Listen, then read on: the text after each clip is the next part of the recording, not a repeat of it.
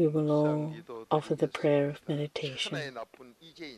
Someone, the worst of sinners like me, that promise of love that we can still do well. We're standing here because of your promise. Even the worst of sinners can do well. The more we repent of our sins, the more grace we have. Lord, that grace where you help us yourself, may we receive this. May this be the most blessed time in our lives. And the dirty Satan, devil that is tormenting me and my children, may they depart in Jesus' name. We thank you and bless. Amen.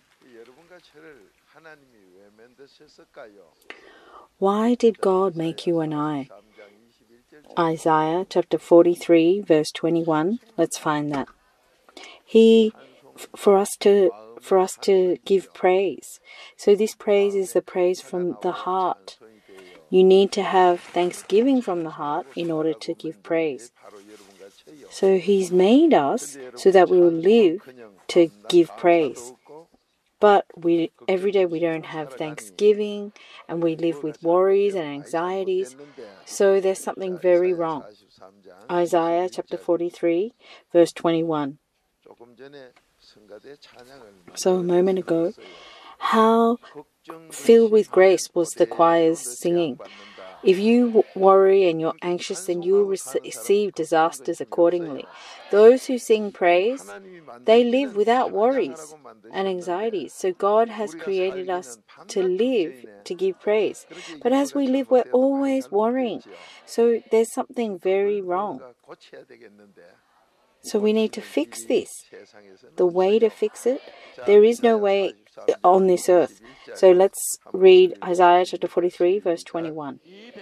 The people whom I formed for myself will declare my praise. Amen. So, who were we created for?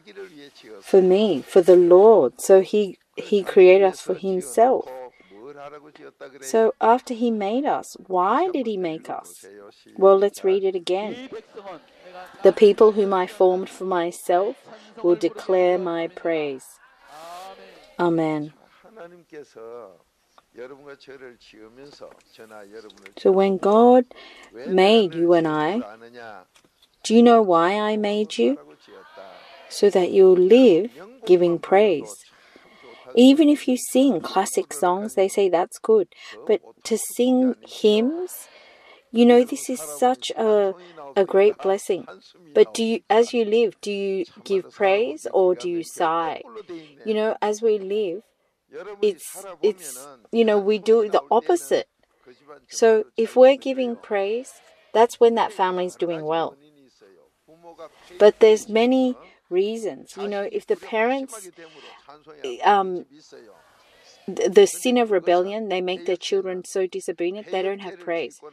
But once you commit this sin of rebellion, not only do you ruin your life, Numbers chapter 14, verse 33, so you ruin your life. Not just that, all the children become disobedient. So, because of this sin of rebellion, so you know, parents, they can't give praise if their children are disobedient. The more the children are disobedient, the mother, the father, they, they, they become corrupt in the world. The children, because of the parents, they're ruined because of rebellion. But they don't know how to take responsibility. The one who commits this rebellion, Ezekiel chapter 2, verse 3 to 7, they don't even want to hear God's word. They do that, and then they don't want to hear His word. So, those who commit this sin of rebellion, they're the ones that go around listening to these fake sermons. So, we don't have time for that. What is it that I have to fix today? The sin of betraying Christ, this sin of rebellion. I commit this and I make all my children disobedient. I make them problems in society and to never feel responsible for that. These are the people who are beasts that are perishing. Who is that? It's you and I. If you don't have joy, that's the way you're going. So to not fall into this way. So later, if you have time. So if your children are disobedient, if you look in the world, you know, where? Where is there an obedient child these days? Do they give an award for an obedient child these days? If there was someone who was giving it out, they themselves aren't in their right mind because there isn't anyone obedient. They don't know the way to become obedient, so how can there be anyone obedient? So, how can you become obedient? An obedient child. Someone whose ancestors haven't passed down this rebellion, they can become obedient. But because the parents all commit rebellion, this because they betray Christ, when they make their children disobedient, is there a way then to become obedient? Well, that is the way of faith. That is the way that works. So we talk a lot about faith. Matthew chapter 8 verse 13 it says, "It will happen according to your faith." But what is it that actually happens according to your faith? So you don't know about faith properly. So God says, "Why? Why did I make you? Well, for you to give praise. So then, what is it I have to do? I have to sing praise. But that it doesn't come out. Why not? You need to have thanksgiving from the heart in order to give praise. That's Colossians chapter 3 verse 16. So because you don't have this, that's why it doesn't come out. So God created us to, to give praise. After he created all of creation, did he say, "Oh, I feel upset about this," or was it all was it all thanksgiving? Let's find Genesis chapter 1 verse 31. That's why God's will is to give thanks in all things. 1 Thessalonians chapter 5 verse 18. So why did he make me? To give praise. For whom? For Jehovah God.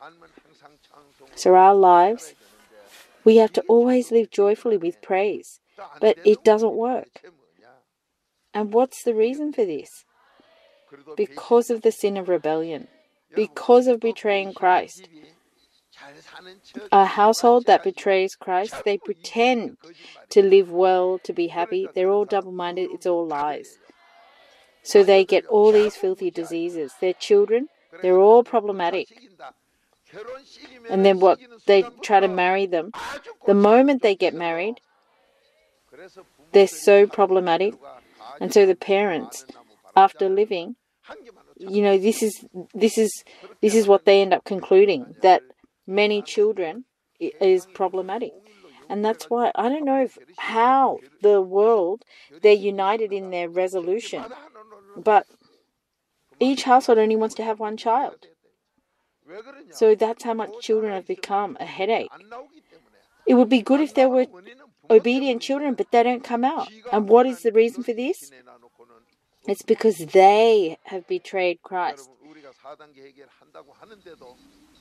We say that we're doing forced out repentance, but do we do well? No. So there's something wrong. So that's what we have to fix today. If we fix this, then we get power. So, Genesis chapter 1, verse 31. Let's read it. God saw all that he had made, and behold, it was very good. And there was evening and there was morning, the sixth day. Amen. So after he made all of creation, is there even one thing that God said was filthy? So this is where we're wrong.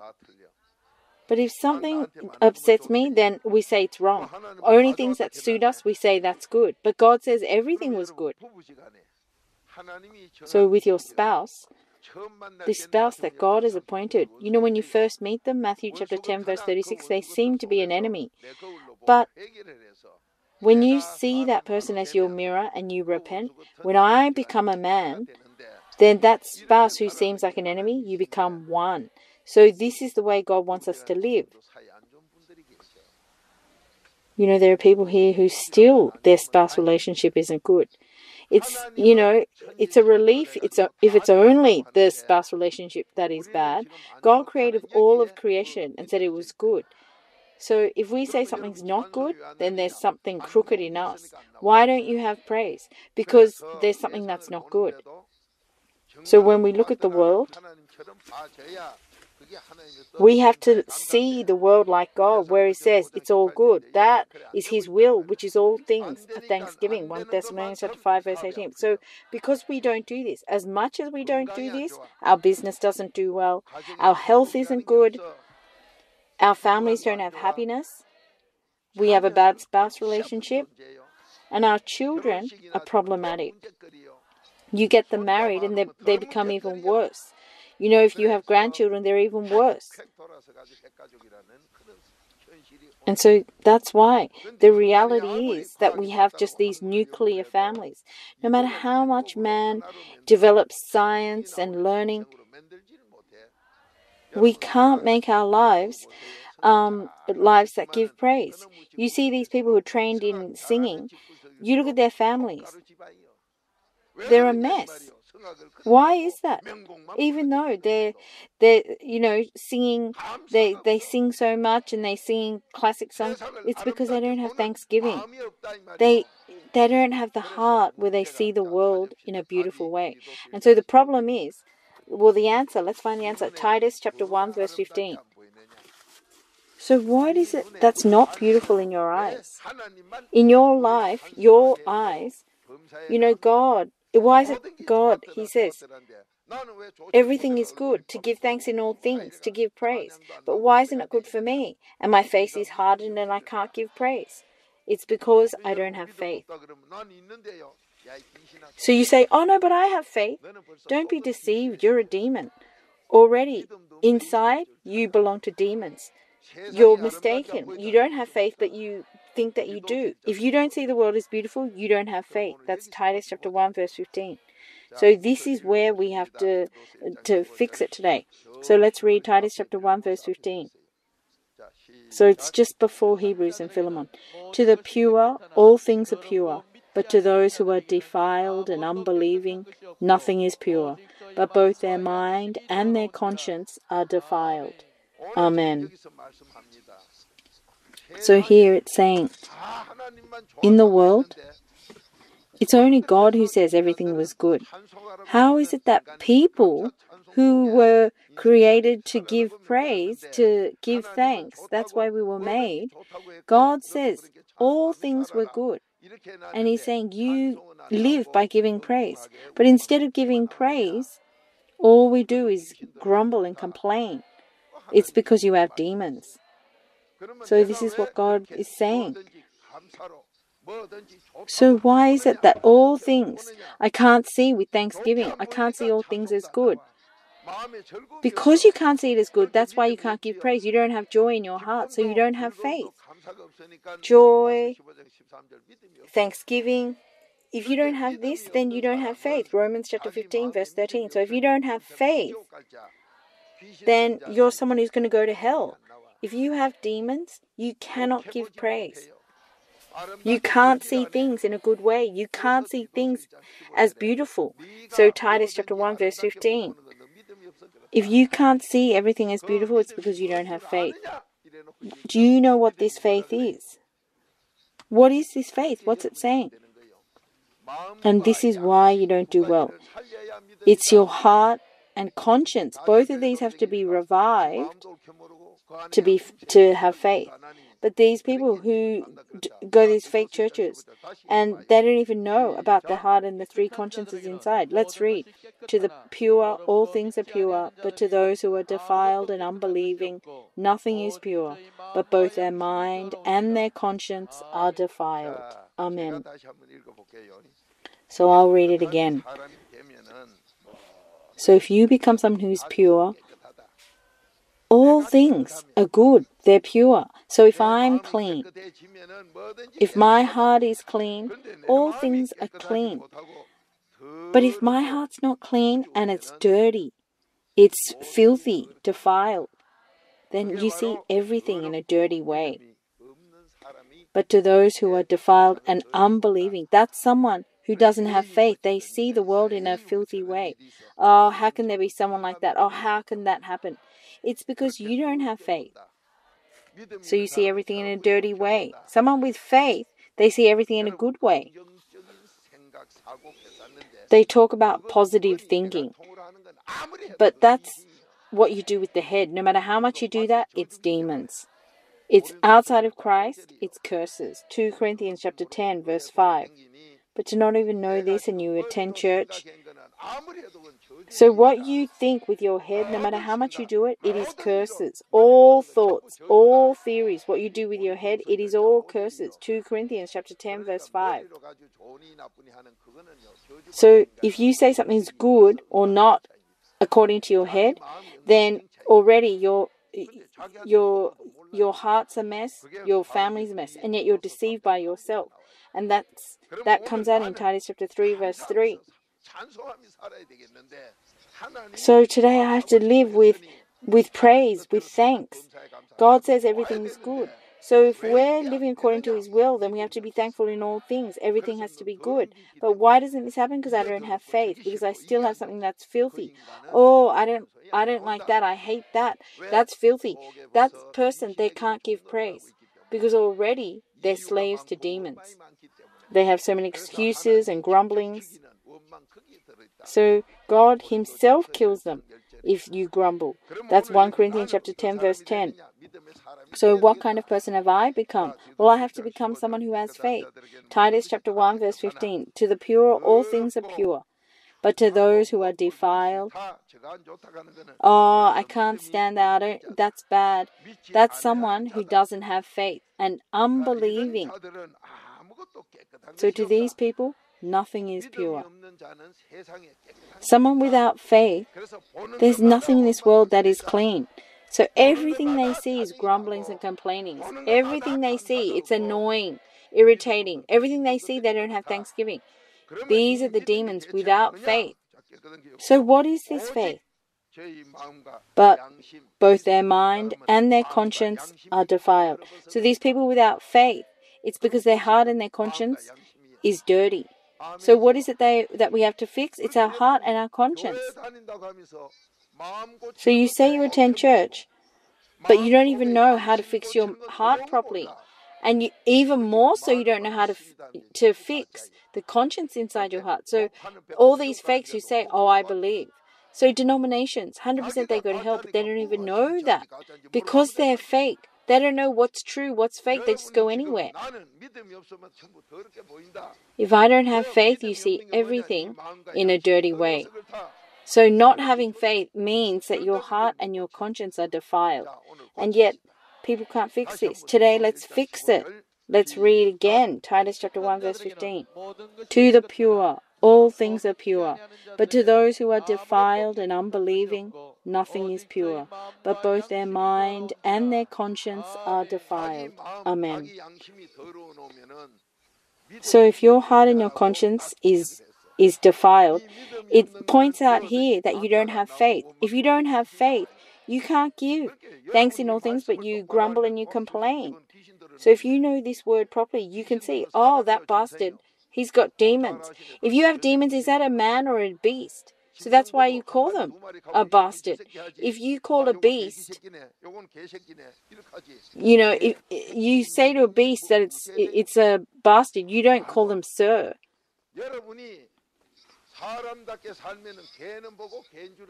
If you live like a man, then you got to see a dog as a dog and a man as a man. But because I'm fake, you treat a man, you know, roughly, and then to a dog, you call them teacher. When God sees that, that's crazy. To look at a dog or a cow, uh, to a beast, and treat them as a man, and to a man, you don't know how to treat them as a man. That's someone who is crazy. So, what kind of person am I? Why is it to give praise to God, for your children to be obedient? Why can't I go that way? It's because I don't have faith. What is faith? It's your heart and your conscience. This is what God teaches us. Why is it that I, uh, things don't do well for me? That I'm not being healed? Because you haven't revived your heart and your conscience. Because you don't revive your heart and your conscience, that's why the demons keep playing up. So, how do you save your heart? Isaiah chapter 57, verse 15. Let's find that. So, it's your heart and your conscience that is faith. people who say they attend church, they call themselves a pastor, an elder, or a deacon. That's not how you go to heaven. You need to have faith to go to heaven. What is faith? It's your heart and your conscience. That's what it clearly is recorded here. But you go around as a fake. God's will is to give thanks in all things. Why don't I have thanksgiving? And that's why you don't have praise. If your household doesn't have praise, then it's already a mess. How much don't you have thanks? Thanksgiving that you don't have praise. God created us to give praise. He made us to give praise for Him, but people don't even know this. So it's like, why? Why was I made? And they saw these wrong things. It's to give praise. When do you have praise? You have to have thanksgiving from the heart. That's Colossians chapter 3, verse 16. So that means you have to have a lot of the word of Christ. If you have a lot of the word of Christ, Romans chapter 10, verse 17, already that's faith. So you don't even know where faith comes from. You don't even know what faith is. Here it says you have to fix your heart and you have to revive the three consciences in your heart. That is faith. So these people who don't even know how to revive their three consciences, and when they die, they're like, they probably went to heaven. Let's see what happens when you die. You know, without the mystery of Christ, you can't get forgiveness of sin. So people are like, they probably went to heaven. Yeah, right. You didn't even go anywhere near the Word. How can you go to heaven? Let's wake up. So we can live singing praise, no matter what anyone says. Let's revive my heart and my conscience because that is faith. It's not what we've made, it's what God has appointed. So, what is it to revive your conscience? Isaiah chapter 57, verse 15. Let's read it together. For thus says the high and exalted one, who lives forever, whose name is holy. I dwell on a high and holy place, and also with the contrite and lowly of spirit, in order to revive the spirit of the lowly, and to revive the heart of the contrite. Amen. Someone who someone who cries and mourns and cries out that's the heart that god revives. This is what god has recorded. So when when can our heart be revived? When our spirit is humble when we don't have sin because that's what humility is to not have sin so you have this demon of grumbling because you can't give thanksgiving. And so God himself will kill you. 1 Corinthians chapter 10 verse 10. So where does this grumbling, envyings, jealousies, pride, gossiping, where does it all come from? The heart of hating to keep God in your heart. This is someone who God himself will kill. Why don't you have joy? You say, Oh, my work it makes me so tired. Just because your flesh is tired, does that mean, is that why you can't smile? That means the whole Bible is a lie. No matter how tired your flesh is, your heart and your flesh are different. If your heart is clean, if you have faith, if your heart has been revived, then you give praise. But you say, oh, it's because my flesh is tired that I can't give praise. No, that doesn't make sense. So, what is faith? It's your heart and your conscience. How do you revive your heart? Isaiah chapter 57, verse 15. It's Amen, isn't it? So, 15 years ago, I preached about this in the sermon a lot. But these days, you've forgotten about this and you don't do this. So, when Pastor Park looks, it's strange, it's not working. There's no one who's smiling with joy in their hearts. They're all filled with worries. It's strange. If you're filled with worries, you can't see the world in a in a beautiful way. So if you can't see the world in a pure way, it's because your your heart is is dirty. You haven't revived your three consciences. So now you know how to revive your heart. To revive your three consciences, 1 Peter chapter 3 verse 21, the good conscience, 2 Timothy chapter 1 verse 3, your your pure conscience. 1 Timothy chapter 1 verse 19, your good, your kind conscience. So if you don't revive these three consciences, you'll go to hell. You have to revive these in order to have faith. So if you revive these, then everything is good. whether it's this, you have Thanksgiving. Whether it's that, it's Thanksgiving. Even if someone torments you or curses you, it's Thanksgiving. Why? Because I can find something to repent of in that. So everything has to be seen as good. But even with your spouse relationship, you know, you get married and you're like, oh, my eyes must have been rotten for me to get married to him. So you make your eyes rot. Oh, I must have been crazy. How did I? Even though your parents, your cousins, your siblings, your friends tried to prevent you, you you you said, oh, "I'm going to live my life," and then you go on your honeymoon already. You're complaining. So what is this? So what you cannot stand, you know, in Korean we say, you know, you can look at rice, cold rice, but you can't look at someone that you cannot stand. So, this enemy, to be able to see them in such a beautiful way, it's don't look at them. If your heart and your conscience is revived, you see them in such a beautiful way. That is faith. That is faith. We need to have this faith. This is amen. So, to revive our heart and our conscience, that is faith. So, everything is good for us. God created all of creation and His Word, where He says everything is good. When that becomes mine, that's when praises pour out. You know, the choir, after they sing their praise, you know, do you can you give praise at home or at work? No, it all disappears. That's because my heart and my conscience is still dirty. dirty. It's still not faith. So, fake churches, they don't even know that faith is a gift of God. You re- they don't know that you receive faith from Christ. So, if you want to talk to someone like that, it's so frustrating. Faith you have to revive your heart and your conscience. If you revive your heart and your conscience, it will happen according to your faith. This person standing in front of you, what you know, the little that I do well, it's because I keep going the way to rev- of reviving my heart and my conscience.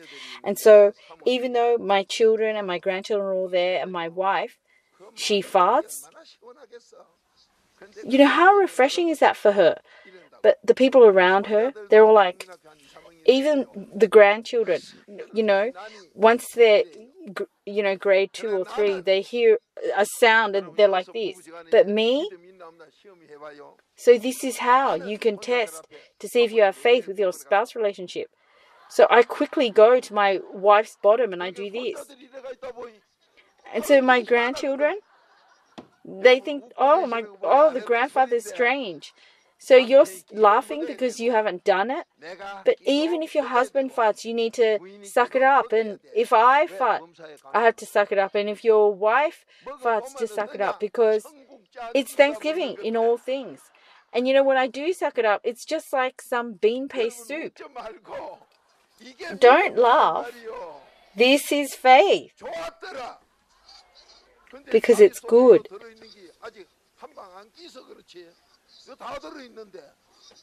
You know, we all have this inside of us, these farts, because we're all just big maggots, so we're filled with poo.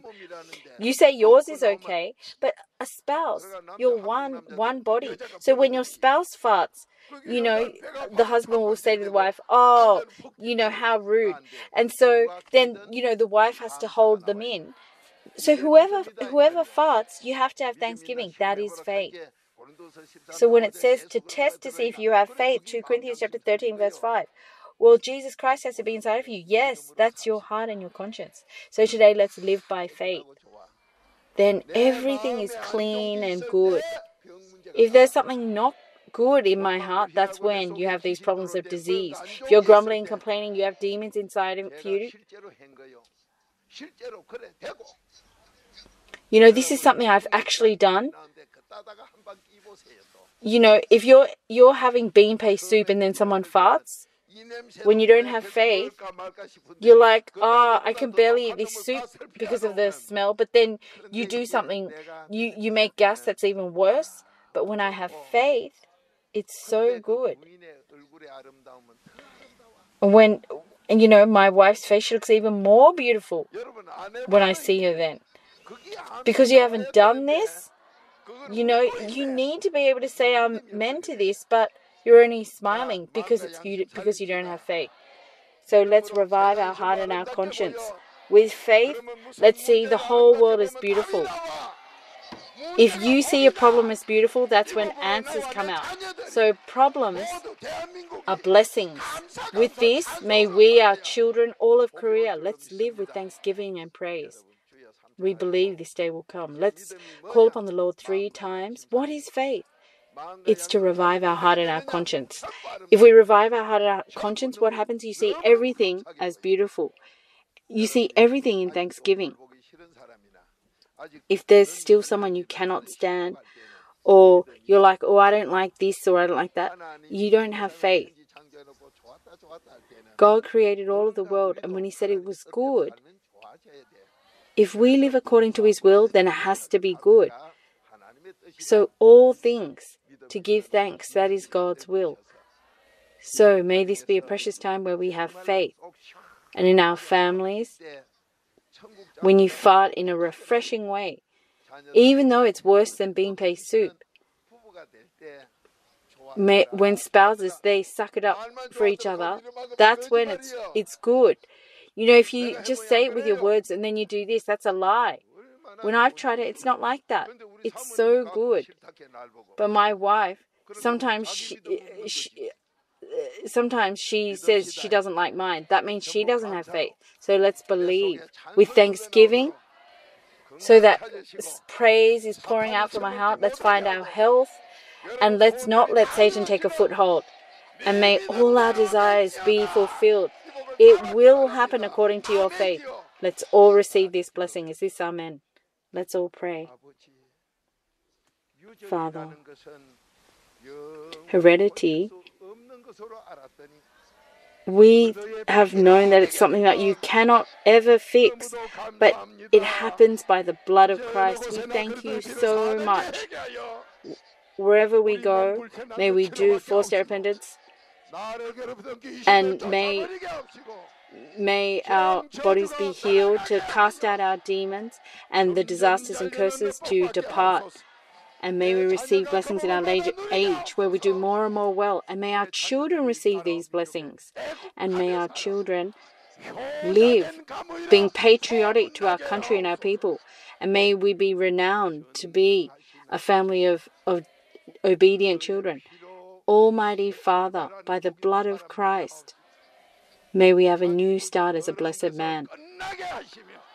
May we end the filthy ancestors' heredity. May our constitution change. May our lives change.